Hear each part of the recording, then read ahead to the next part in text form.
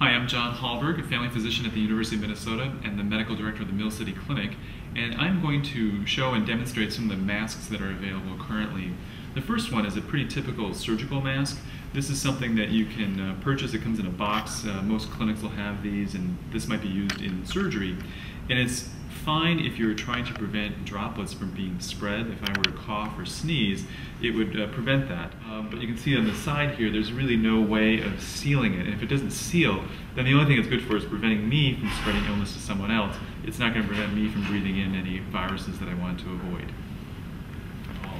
Um, but then we go to uh, a mask like this, which is, it looks like just another kind of dust mask or a surgical mask, but this is actually an N95 mask, and N stands for it's not resistant to oils, and the 95 means that it's like 95% effective against particulates.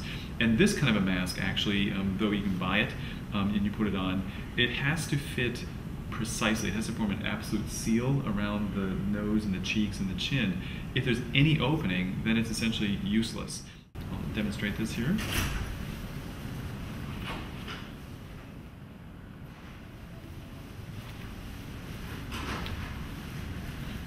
So this has two straps. One goes around the back of the neck, one goes on the top of the head. To pinch it here, and it forms a very tight seal. But as you can probably hear, it's, it's hard to speak. It's kind of hard on my face. Um, within a very short amount of time, this will become very hot inside. And the, the prospect of wearing this uh, throughout an entire clinic day or a shift in the hospital is hard to imagine. And then the other one is what they affectionately call the duck bill uh, variety, and I'll demonstrate this. Um, and I was just uh, fit tested for this uh, yesterday, in fact. So you put your chin in here.